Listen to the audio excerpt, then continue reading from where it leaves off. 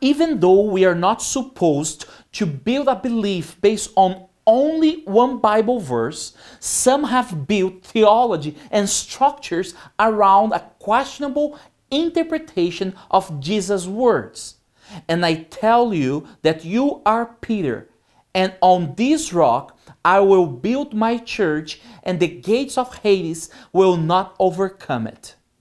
When the image of a foundation stone is used in relation to the Christian church elsewhere in the New Testament, that stone is Jesus himself, not Peter, as in 1 Corinthians 3 10 to 11, where Christ is the foundation and Paul's apostolic work merely the substructure, and 1 Peter 2 4 to 8, which, if written by Peter himself, is particularly telling.